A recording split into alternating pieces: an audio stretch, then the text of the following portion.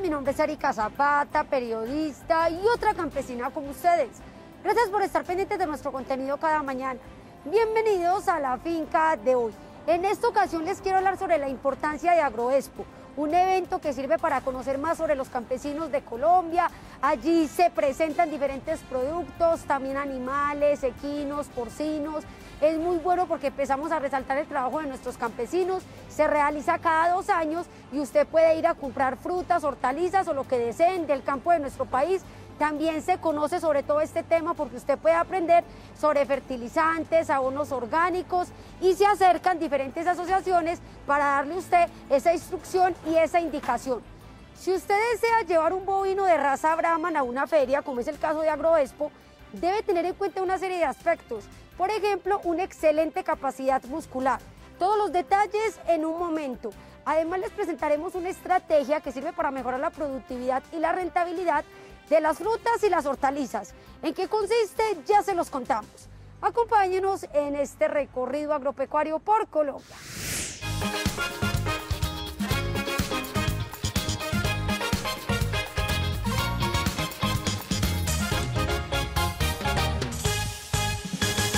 En el ejercicio de juzgamiento, cientos de ganaderos de nuestro país buscan mostrar sus mejores ejemplares.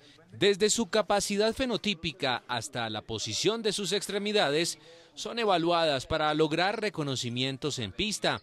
Productores del rancho Angostura, ubicado en el municipio de Ricaurte, Cundinamarca, escogen a los animales de raza Brahman desde el momento de su nacimiento. Durante la selección, tienen en cuenta la calidad genética de sus padres y evalúan a los tres meses las características fenotípicas propias del animal. Que sean animales de mucha piel, entre más piel, más capacidad de termorregulación, más calidad racial de edad, que la jiba sea una jiba eh, bien puesta sobre, los hombros del animal, que sea una jiba representativa, que es, rep, es muy clara y eh, es una exigencia de la raza Brahman que haya una jiba, que es una acumulación, es una hipertrofia de los músculos dorsales los espinales donde se acumula grasa en un ejercicio de reserva. Tenemos que tener un animal de una muy fuerte línea dorsal, que tenga una, gran capacidad muscular acá, que su capacidad del tórax sea muy que sea muy amplia para que permita una disposición pulmonar y una disposición cardíaca para poder mover todo el ejercicio. Es importante que estos ejemplares tengan buena capacidad abdominal, unas costillas amplias en donde quepa un aparato digestivo que permita procesar pastos de baja calidad nutricional en una importante cantidad de musculatura. Siendo la raza Brahman una raza de carne, siempre tenemos que tener una muy buena presentación muscular. Acá la novilla pues, tiene una muy buena eh, volumen corporal, un muy buen volumen muscular y pues aquí se ve en la pierna y se ve con este volumen dorsal en los músculos dorsales. A medida que los animales se escogen y cumplen estas características, evalúan también el desplazamiento, la posición y movimiento de sus miembros posteriores. Los aplomos sean siempre líneas de mirados de atrás hacia adelante o de adelante hacia atrás, deben ser líneas completamente paralelas y rectas. Ya viéndolos lateralmente, la mano debe caer de derecha al suelo sin ninguna desviación y acá en los posteriores debe haber un arcamiento aquí en los corvejones. Como estos animales ganan peso muy rápidamente los sistemas suspensorios de los aplomos no son capaces de soportar ese peso que se gana más rápido de lo normal, se debe realizar mantenimiento al sistema podal.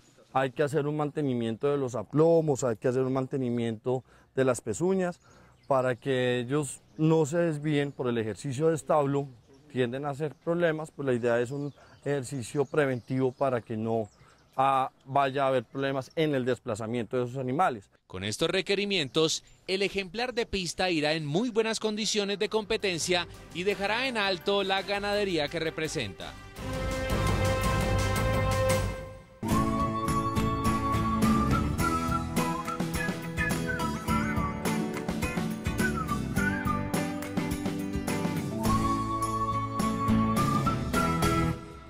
Reinventarse para entender el lenguaje de la naturaleza y en consecuencia disminuir los costos de producción e incrementar la productividad y la calidad de los frutos es la propuesta de Asofrucol y que bien comprendió Juan Andrés Sánchez, uno de los 70 mil asociados que la entidad administradora del Fondo de Productores de Frutas y Hortalizas tiene en Colombia. Ocho años de trabajo han sido suficientes para desligarse de la agricultura convencional. La finca la tomamos como un potrero, no había ni un solo árbol empezamos pues en compañía de mi esposa a, sembrar árboles frutales, empezamos a asesorarnos de la agricultura convencional, sí, la cual pues invertía mucha plata, mucha plata y los resultados no eran, no eran visibles y las enfermedades y plagas eran cada vez más. Eso ya nos llevaba al borde de la venta de la finca, hasta que pronto pues empezamos a, capacitarnos y a ver otras alternativas. Lo primero que nuestro entrevistado entendió es que la agricultura tropical no es sinónimo de agricultura orgánica. Por el contrario, esta aplica pesticidas, pero solo cuando es necesario y sobre las plantas que verdaderamente lo necesitan, no sobre todo el cultivo como suele ocurrir. En este momento tenemos 300 árboles establecidos. Entre cítricos, mango, los árboles están mucho mejor. Las otras fincas trabajan eh, por cosechas, una al año. Nosotros estamos constantemente sacando fruta. Más o menos cada 15 días estamos sacando cosechas. Mediante la utilización de los agroquímicos estrictamente necesarios y el cambio en lo posible por fertilizantes y preparados naturales, se busca la protección de los insectos, aves y otros animales polinizadores, considerados como aliados estratégicos para que no nos pase lo que hoy pasa en determinadas regiones de Colombia con la fruta de la pasión como el maracuyá, que tienen que contratar personas, mujeres y niños para que vayan de flor en flor o haciendo esto de flor en flor para poder polinizar cuando ese trabajo es de un abejorro grande, negro. Mantener la dinámica natural del suelo y evitar la erosión es otra de las ventajas de disminuir la aplicación de agroquímicos. Las arbences también deben controlarse solo cuando sea necesario, ya sea para evitar la pudrición de los frutos, que estos se ensucien o el entorpecimiento de las labores culturales. En el suelo están los microorganismos, unos insectos o unos animalitos que producen el potasio, otros que fijan el fósforo y otros que fijan el nitrógeno. De acuerdo con la experiencia, el 80% de sus productores son pequeños. Azofrucol asegura que para ser productivo no se necesita de grandes extensiones de tierra. Las frutas de exportación como pitaya, mangos, cítricos, pasifloras, gulupa, granadilla y maracuyá se cultivan en pequeñas áreas hablamos de las unidades mínimas rentables y es esas unidades, esas áreas determinadas para hacer que una familia adquiera no menos de 3 millones de pesos mensuales en, en su parcela y eso los hace ricos y los hace competitivos. Lo mínimo en cítricos y en cultivos permanentes deben ser tres hectáreas. En mora debe ser una, en fresa debe ser una, en mango como cultivo permanente tres hectáreas, en plátano tres hectáreas. En resumen, el gerente general de Sofrucol nos propone regresar a la agricultura competitiva que se practicaba antes de 1990, antes de que llegara el modelo del monocultivo Noticias agropecuarias.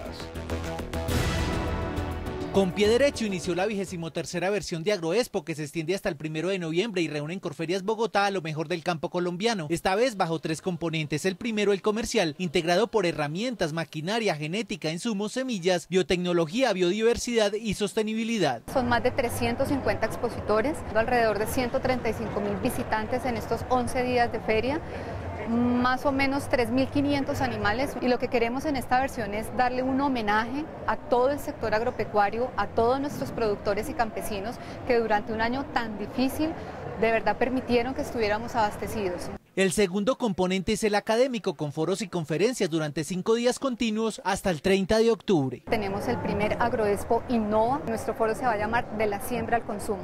Esto, pues, ayudando a, a fortalecer todas las acciones del Año Internacional de las Frutas y las Verduras declarado por la FAO. El tercer componente es la rueda de negocios internacional que se realiza desde mañana y hasta el 27. Cuenta con inversionistas de países como Brasil, Estados Unidos y Canadá con alrededor de 600 compradores internacionales. Los países que puntean son Ecuador, República Dominicana, Panamá, México, entre otros. También tenemos compradores de Venezuela y algunos de otros continentes. Por primera vez el evento hace invitación especial a un departamento y es Boyacá con su trabajo exportador. El Ministerio de Agricultura también apoya la feria y se hace presente con diversas experiencias agropecuarias exitosas de todo el país. El costo del ingreso para niños es de 11 mil pesos y para adultos de 28 mil. Se requiere el cumplimiento de protocolos sanitarios. Síguenos en arroba la finca de hoy. Animales como estos que ven a mi alrededor los puede ver usted en la vida real en Agroexpo. También va a conocer sobre sus características, cómo trabajan los productores con ellos. Obviamente en este evento se va a cumplir con todos los protocolos de bioseguridad y es un encuentro muy importante para los campesinos de Colombia y de diferentes regiones del país, porque no es solamente de Bogotá, no, de diferentes partes llegan, aprenden sobre todo este tema y lo bueno es que de alguna manera se está dando a conocer ese esfuerzo que hacen ellos por sacar la tierra adelante. Y lastimosamente hemos llegado al final de nuestro programa, pero espere mañana más historias, anécdotas e información del campo colombiano. Las personas que están en otros países nos pueden ver a través de la señal de Caracol Internacional y ustedes a través de las redes sociales que aparecen en pantalla. Ustedes no solamente son los protagonistas de este programa, también del trabajo de la tierra del país. Mañana tenemos otra cita bien temprano con los campesinos de Colombia. Hasta pronto.